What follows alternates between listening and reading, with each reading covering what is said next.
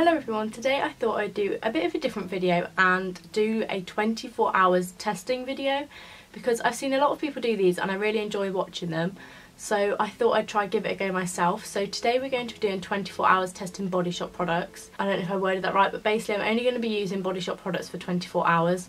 So for my makeup, hair, what else is there, like skincare, body, like literally everything beauty related I'm to all use Body Shop products. So yeah, I thought it would be interesting to see how we got on. But if you do end up enjoying this style of video, let me know because i I think I want to sort of branch out on my content a bit. So if you do enjoy it, let me know.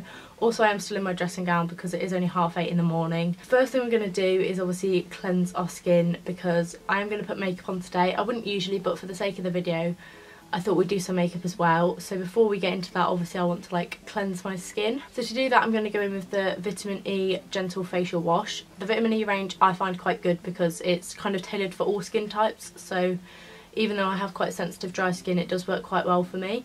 So we're going to go in with that and then I will update you about moisturiser when we get back.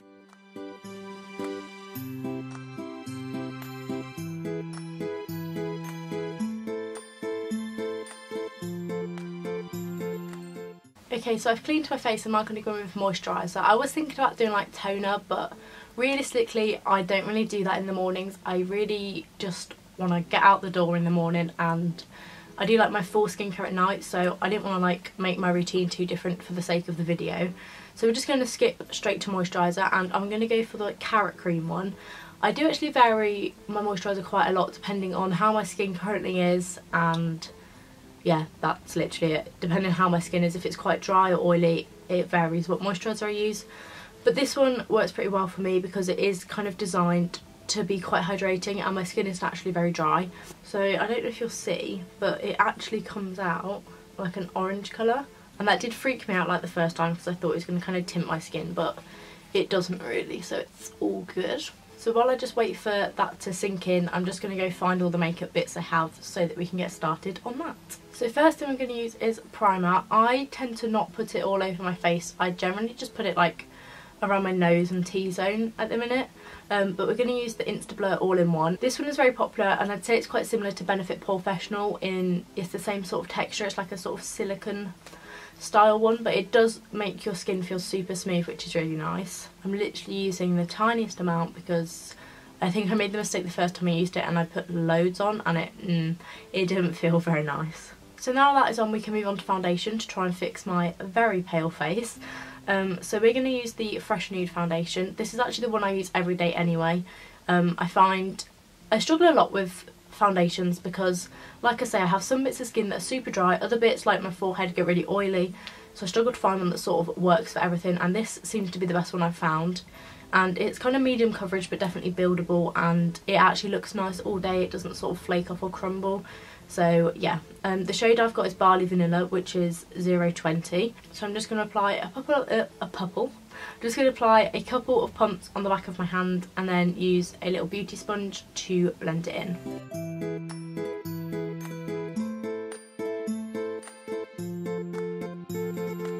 So that is my foundation done. I actually don't have any concealer, which is Body Shop, so I'm going to have to skip that.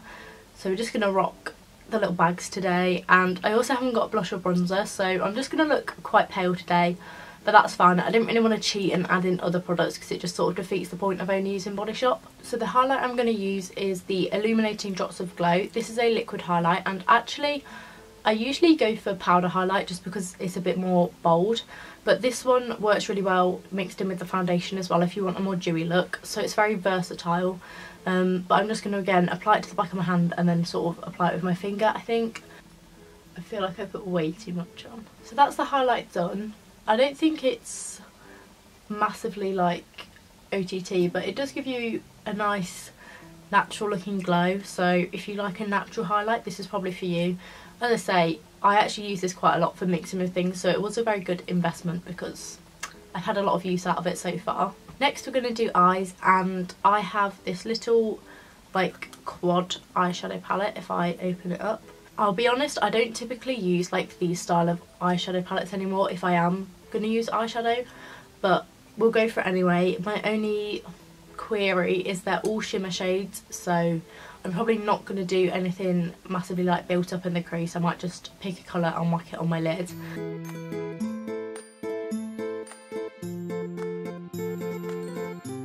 So I just did a mixture of those top two colours and I actually think this looks quite nice.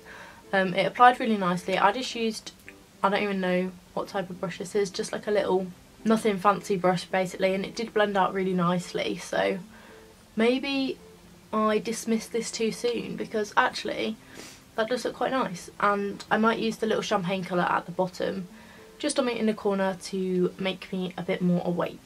So next we're going to do mascara and we're going to be using the Lash Hero Fibre Extension Mascara. So as you probably guessed this has two ends, one side is fibres, the other is mascara.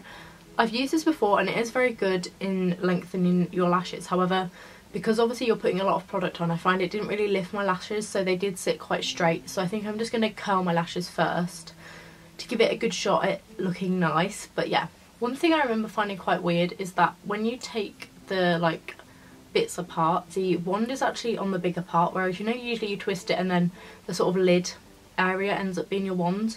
It's the other way around, which I found quite confusing. I don't know why, but just an interesting fact for you. Mascara is done, so we're going to do eyebrows, and the product we're going to use is the Brow Sculpt 3-in-1 Brow Pen. Again, this is one that I do use quite a lot. At the minute, I've not really been filling in my eyebrows, and they do need a wax, so please ignore that.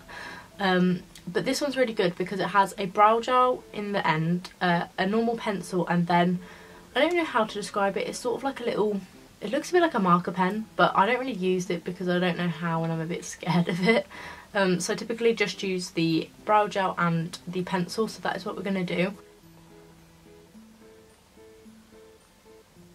do. So while I was twisting it to look at the shade. I think the pencil bit has just fell out, but I don't know where it's gone. So I've had a good look and I cannot find it, so I think we just have to accept the brow pencil is dead. He's gone. He's not coming back. So um, we're just going to do brow gel today, but if you do buy one of these, you will get a pencil in it. Mine just doesn't anymore. This brow gel is quite good anyway because it's coloured, so it's tinted brown.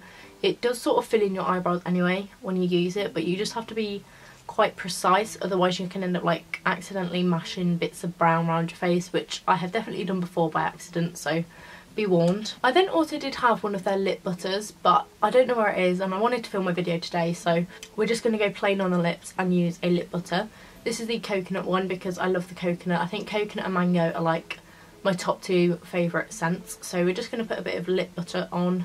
I love it because it just tastes like holiday to me because I always take um, the like mini versions of like their shower gels and everything when I go on holiday. So to finish it all off, I do have one of their face mists as well.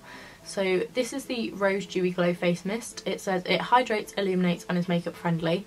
This, from what I know, is quite versatile because you can put it under your makeup, over your makeup, or just use on your bare face, like if it's hot or stuff. So I'm just going to put a bit of this on and we can see if it helps make it last because I don't have any Body Shop powders. So we're not going to powder anything today. We're just going to see how long it lasts when I check in later. Definitely rosy, I'll give it that. So I'm pretty sure that is everything I usually do in the morning. So I'm now just going to head out, do my usual daily things and then I will check back in tonight to do the rest of the skincare and everything else. That will probably be a bit more interesting because it'll be like hair wash, skincare, body care as well, so like body butters and all that jazz. So yeah, I will see you shortly. And we're back. I decided to switch to a voiceover for this bit because when I was trying to film it in the bathroom with the fan, it just wasn't working. So anyway, the first thing I'm doing is using the Chamomile Cleansing Butter because this stuff literally just melts off your makeup and it's the super simple way to just sort of cleanse your skin initially.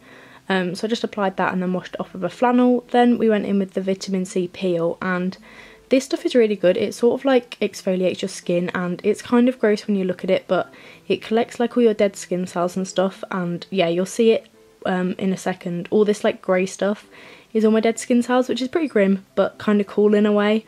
Um, so yeah. That was all I did pre-shower so moving on to the stuff I wanted to use when I was in the shower.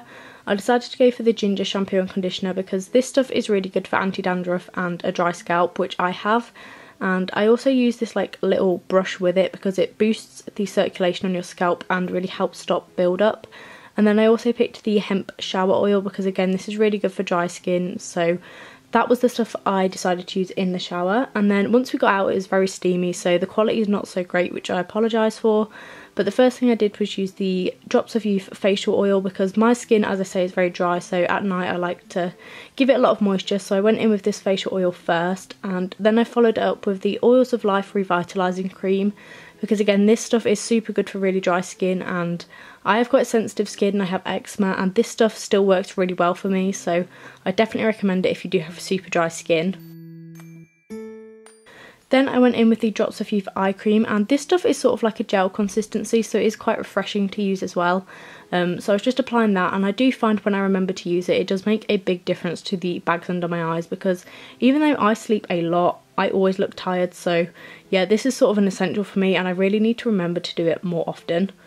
Then I went in with the Rich Plum Body Yogurt and this was my final step and I just applied this to my arms and legs to again help moisturise because this stuff sinks in really quick so it's a lot easier than a body butter and yeah then I was done. I hope you all enjoyed that video. If you did please give it a big thumbs up down below and subscribe because it really helps me out and let me know what other videos you'd like to see in the future because as I say I would like to branch out with the sort of things that I film. So yeah I hope you guys have a really good day and I will see you very soon with another video.